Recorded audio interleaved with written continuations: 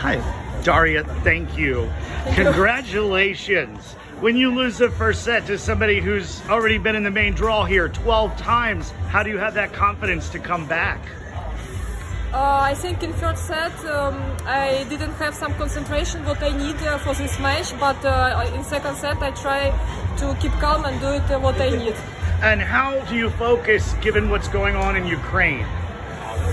Mm, when I played match, I uh, think about situation in Ukraine because uh, you know it's very sad. Uh, after when I played these matches, I, this is always matches for Ukraine all matches what I right. want for Ukraine, yes. Right, and how exciting are you to be one match away from the main draw here?